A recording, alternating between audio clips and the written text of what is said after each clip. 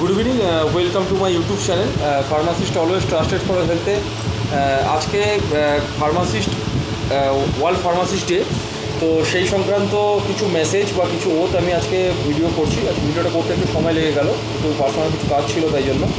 তো আজকে world pharmacist day সেলিব্রেশনের জন্য সব জায়গায় ফার্মাসিস্টদের উদ্দেশ্যে ফার্মাসিস্টরা নিজেরাও এবং অনেক যেখানে হায়ার অথরিটিস আছে, সেখান থেকে ফার্মাসিস্টদের সেলিব্রেশন করছে। তো অবশ্যই সেলিব্রেট করারই দিন আজকে।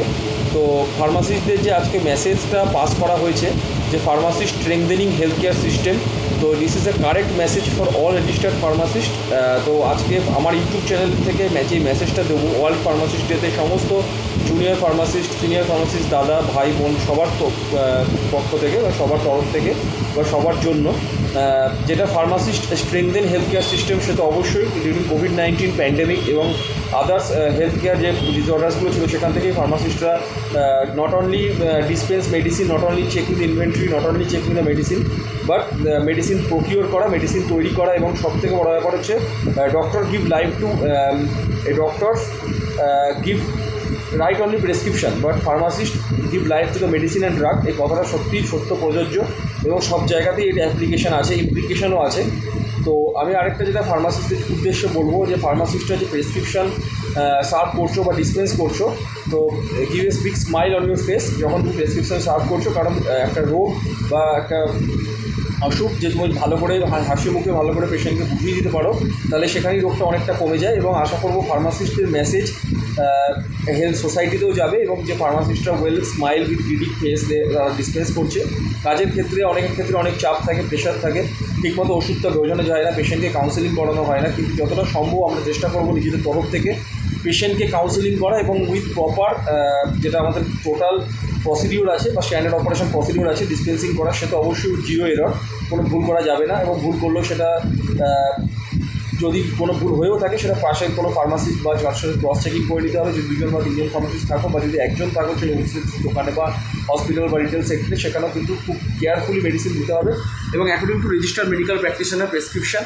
কোনো মেডিসিন ডিসপেন্স করা উচিত না এবং অবশ্যই according to pharmacy act nineteen forty eight and drugs and cosmetic অ্যাক্টের rules প্রতিটা মেডিসিন দোকানে মেডিসিন শপে ফার্মাসিস্ট রেজিস্টার্ড ফার্মাসিস্ট অবশ্যই প্রেজেন্ট থাকা দরকার এবং আমি অ্যাজ এ ফার্মাসিস্ট সমস্ত হেলথ কেয়ার প্রোভাইডার্স বা হেলথ যারা কাস্ট পেশেন্টস আছে বা সবার তোরা সোসাইটি থেকে একটা মেসেজ দিতে চাই যে মেডিসিন সবসময় রেজিস্টার্ড ফার্মাসিস্টদের থেকেই নিতে not not unregistered pharmacist because registered pharmacist is well skilled and well technical competent with that knowledge and skills you a right medication at right dose with the right proper uh, frequency and according to the prescription of registered medical practitioner. তো সবসময় registered medical practitioner prescription ফার্মাসিস্টই serve করতে পারে এবং ফার্মাসিস্টকে সেই authority দেওয়া হয়েছে তো গভর্নমেন্ট থেকে এবং his he or she is a licensed or qualified personal to do that so be positive and be competent higher যারা আছো, অবশ্যই ফার্মাসিস্টদের যারা প্রোডাকশানে কাজ করছ বা কোয়ালিটি অ্যাসুরেন্সে আছো কোয়ালিটি কন্ট্রোলে আছো রিসার্চ অ্যান্ড ডেভেলপমেন্টে আছো অ্যাজ এ ড্রাগ ইন্সপেক্টরে আছো অ্যাজ টিচিংয়ে আছো বাই বাই প্রফেশন একাডেমিক্সে আছো বাই প্রফেশন হসপিটালসে আছো বাই প্রফেশন রিটেলসে আছো বা প্রফেশন এডুকেশন ইনস্টিটিউশনে আছো, তোমরা হিওরশিপ প্রথমে হচ্ছে তোমার ফার্মাসিস্ট বাদ বাকি তারপরে সব তো যেখানেই যা, যে, যারা আছো, যেখানেই যে করছ অলওয়েজ যারা সিনিয়র আছো, অবশ্যই জুনিয়রদের হেল্প করা উচিত। জুনিয়ররা উচিত সিনিয়রদের থেকে ভালো করে শেখা এবং অবশ্যই যারা হসপিটালে ফার্মাসিস্ট হিসাবে ট্রেনিং করতে আসছো সিনিয়র যারা ফার্মাসিস্ট দাদা বা দিদিরা আছে, তাদের থেকে ভালো করে বোঝো এবং অবশ্যই দাদা দিদির কর্তব্য আছে যে ফার্মাসিস্টদেরকে ভালোভাবে, কারণ তারাও একটি জুনিয়র ছিল। তো সবাই ভালো করে শিখিয়ে, পড়িয়ে ভালো করে। এবং অবশ্যই সবসময় দরকার প্রপার নলেজ উইথ স্কিল এবং যা তোমরা পড়ছো, দেখছ বা যা ফিজিক্যালি কাজ করছ বা যা প্র্যাকটিক্যালি কাজ করছ, সেটা কিন্তু অ্যাপ্লিকেশন তখনই হবে যখন তোমরা সেটা নিয়ে ঘাটবে। যত মেডিসিন ঘাটতে পারবে, যারা জুনিয়র ফার্মাসিস্ট আছে, যত মেডিসিন যত ইকুইপমেন্ট যত সার্জিক্যাল আইটেম যত কিছু এক্সপোজিওর হবে, যত তোমরা আগে এগোতে পারবে সোসাইটির তরফ থেকেও ভালো, তোমাদের ফিউচারও ভালো হবে। এবং সবসময় আর, এবং আমি সমস্ত প্রফেশনাল যারা লোক আছে মানে ফার্মাসিস্ট বাদ দিয়ে যারা আছো নার্সিং স্টাফ মেডিকেল অফিসার যারা ভিডিও দেখছ যারা ফিজিশিয়ান আছে ডক্টর আছে তাদেরকে উদ্দেশ্য একটা মেসেজ যে ফার্মাসিস্টদেরকে রেসপেক্ট দিতে হয় ফার্মাসিস্ট প্রফেশনটাকে তোমরা সম্মান দাও, আপনার সম্মান দিন এবং ফার্মাসিস্টদের পাশে থাকুন। ফার্মাসিস্টও একটা হেলথ কেয়ার প্রোভাইডার ফার্মাসিস্টও একটা পিলার অফ দ্য বিভিন্ন সেক্টরের ক্ষেত্রেই বলছি। ডক্টর নার্সিং স্টাফ যেরকম একজন টেকনিশিয়ান যেরকম এক হসপিটাল বা হেলথ কেয়ার সেক্টরের পিলার সেরকম ফার্মাসিস্টও কিন্তু একটা পিলার তো সবসময় উচিত ফার্মাসিস্টদেরকে সম্মান দেওয়া এবং ফার্মাসিস্টদেরও উচিত সম্মান আদায় করে নিয়ে এবং নিজেদের কাজের মাধ্যম দিয়ে এবং উইথ জিরো এরর যদি কোনো ভুল হয়েও থাকে বা এক্সপায়ার্ড মেডিসিন বা কোনো রকম কিছু হয়, তোমাদের ক্ষেত্রে আবার যারা জুনিয়র ফার্মাসিস্ট বা সিনিয়র ফার্মাসিস্ট আছো, সবসময় বলব ফার্স্ট ইন ফার্স্ট আউটে কাজ করতে। যে মেডিসিন আগে ঢুকছে, যে মেডিসিন পরে ঢুকছে, যে মেডিসিন আগে ঢুকছে, সেই ফার্স্ট ইন যে আগে তোমরা প্রকিওর করছ, সেটা আগে বেরোবে। যেটা পরে ঢুকছে, সেটা কিন্তু পরে বেরোবে। তার মানে এক্সপায়ার এক্সপায়ারিটা কিন্তু অলওয়েজ ক্রস চেকিং করা উচিত। বিভিন্ন সেক্টরের ক্ষেত্রেই বলছি আমি এক্সপায়ারিটা খুব গুরুত্বপূর্ণ জিনিস। এক্সপায়ার্ড মেডিসিন কোনোভাবে অ্যাট এনি কস্ট কোনোভাবে কোনো কাস্টমার বা কোনো পেশেন্টের কাছে যদি না যায় because expiry medicine is a লিগা মানে লিথাল মানে পেশেন্ট মারাও যেতে পারে। সেই জন্য তোমাদের যেখানে একটা গুরুত্বপূর্ণ প্রফেশন সবসময় নেগলেক্টেড নিজেদের না ভেবে expired medicine first in first out FIFO যেটা মানে যে মেডিসিন প্রথমে ঢুকছে সেটা পরে বেরোবে সেরকম কথা নয়। ফার্স্ট ইন যেটা আগে ঢুকবে সেটাই কিন্তু আগে বেরোবে। এবং according to emergency medicine high alert medication LASA look alike sound alike দেখতে এক শুনতে আলাদা, শুনতে এক, দেখতে আলাদা, এগুলো সেগ্রিগেট করে কাজ করা কাজ করা ভালো। এবং অবশ্যই according to the doctor prescription যদি কোনো প্রেসক্রিপশন বুঝতে অসুবিধে হয়। অনেকের অনেক জায়গায় অনেক রকম অসুবিধা থাকতে পারে। ডক্টরের হ্যান্ডরাইটিং থেকে আরম্ভ করে ডক্টরের মেডিসিনের ডোজ বা ফ্রিকোয়েন্সি সেটা কিন্তু অবশ্যই ডক্টরদের সাথে আলোচনা করে মেডিসিনটা ডিসপেন্স করা উচিত। না হয়তো নিজেদের থেকে করে দেওয়া উচিত নয়। এবং সেখানে কিন্তু অবশ্যই একটু টাইম নেওয়া উচিত। যদি কোনো মানে অনেক বয়স্ক পেশেন্ট আছে, বাচ্চা পেশেন্ট আছে সবার ক্ষেত্রেই বলছি মিডিল এজ মানে ওষুধ এমন একটা জিনিস পেশেন্টকে যখন ভালো রাখতে পারে এবং ওষুধ কিন্তু মানুষকে মেরেও ফেলতে পারে। সেই জন্য সেই জায়গাটা দাঁড়িয়ে দেখে থেকে কিন্তু মেডিসিনের ডোজ মেডিসিনের ফ্রিকোয়েন্সি এই ফার্মাসিস্ট দিতে একটা ওথ নিতে হবে আমাদেরকে। একটা প্রতিজ্ঞা করতে হবে নিজেদেরকে যারা ফার্মাসিস্ট হিসেবে জব করছ বা মানুষ হিসেবে কাজ করছ, ভবিষ্যতে ফার্মাসিস্ট হবে। একটাই উদ্দেশ্য হচ্ছে প্রফেশনটার যে উন্নতির পর্যায়ে নিয়ে যাওয়ার জন্য আমরাই, আমাদেরকে নিয়ে আসতে হবে অনেক জায়গায় আমরা নেগলেক্টেড হয়ে আছি, কিন্তু সেই জায়গাটা ভুলে গেলে চলবে না। যে আমরা ফার্মাসি সেই জন্য আমাদের দরকার মেডিসিনগুলো ঠিকঠাকভাবে প্রকিওর করা medicine according to the emergency needs and according to requirement of the sector মেডিসিনটাকে inventory করা এবং অবশ্যই কিন্তু expiry first in first out প্রসেসে মেডিসিন কিন্তু ডিসপেন্স করতে হবে এবং মেডিসিন কিন্তু এক্সপায়ার করা যাবে না। যদি এক্সপায়ার্ড মেডিসিন হয়, সেটা কিন্তু প্রপার ওয়েতে ডিসপোজ করতে হবে।